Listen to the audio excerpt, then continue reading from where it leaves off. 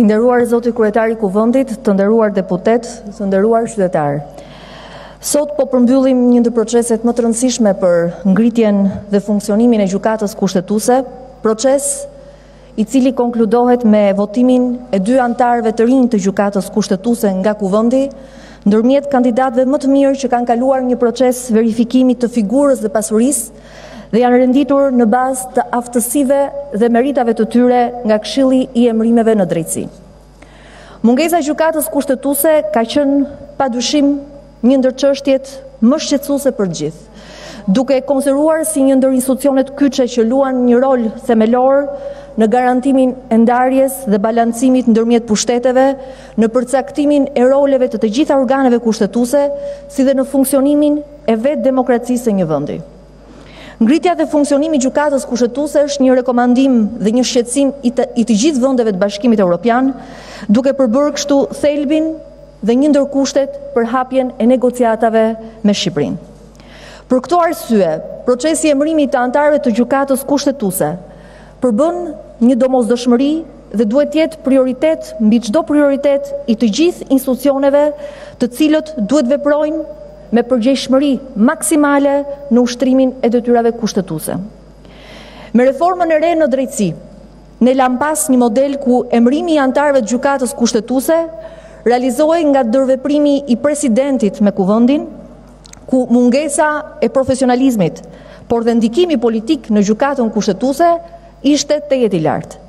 Tashmë me sistemin dhe formulën e re të zgjedhjes së anëtarëve të Gjykatës Kushtetuese, ulet ndjeshëm ndikimi politik në zgjedhjen e anëtarëve, si dhe garantohet merita profesionale dhe integriteti i kandidatëve të paraqitur pranë organeve të emërtesës si Kuvendi ashtu dhe Presidenti nga një organ i parashikuar në Kushtetutë siç është Këshilli i Emërimeve në Drejtësi.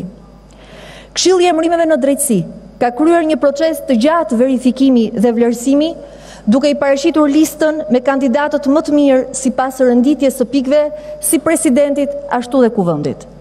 Për fat keq, edhe ky proces, ashtu si çdo proces tjetër të reformës në drejtësi, po shndërrohet në një instrument për të luftuar reformën në drejtësi dhe për të penguar ngritjen e Gjykatës Kushtetuese.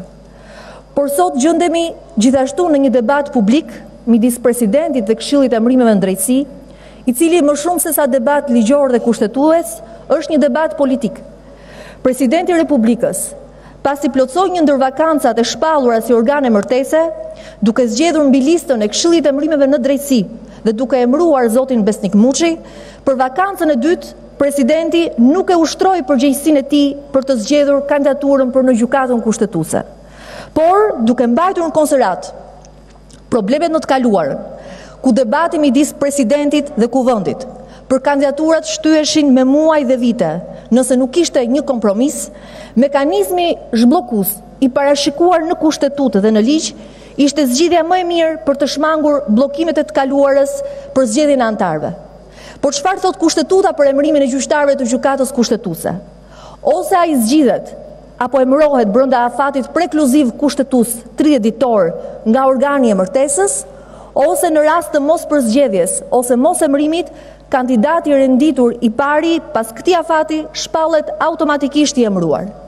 Mungesa e shprehjes së vullnetit të presidentit për vakancën e dytë shpall automatikisht anëtar të Gjykatës Kushtetuese të parin të renditur nga lista e Këshillit të Emërimeve në Drejtësi, duke emëruar automatikisht anëtare të Gjykatës Kushtetuese zonjën Arta Vorpsi.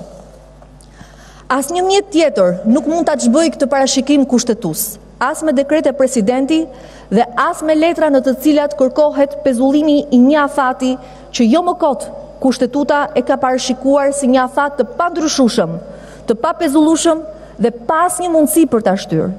Përndryshe nëse çdo organi emërtese do t'i lihej në dispozicion mundësia për të bërë ndryshime, atëherë mekanizmi zhbllokues do të ishte një nulitet. Por, kushtetuta e ka thënë qartazi mënyrën e përzgjedhjes dhe afateve për anëtarët e Gjykatës Kushtetuese.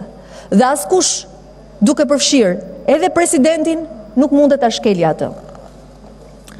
Presidenti i Republikës ka gabuar me shkresën që i ka dërguar Këshillit të Emërimeve në drejtësi për të pezulluar afatin duke paraqitur argumenta tërësisht antikushtetuese dhe të pabazuar në ligj mbi një afat kushtetues 30-ditor të panegociueshëm por të detyrueshëm për zbatim nga të gjithë.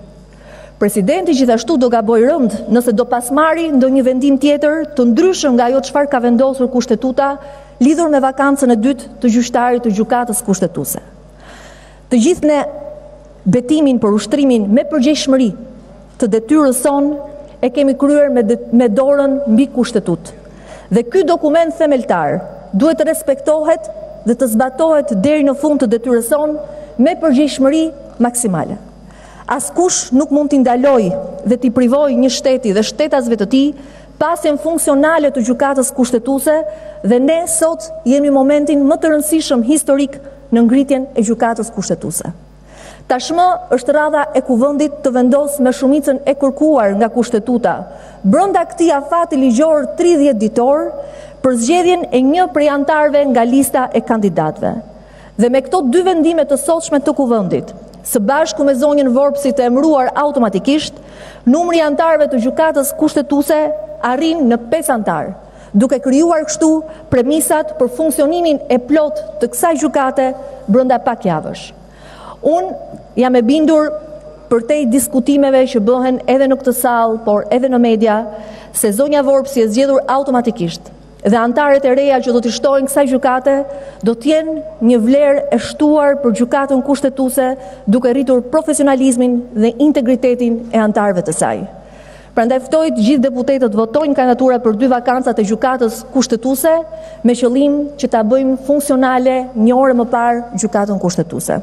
Ju faleminderit.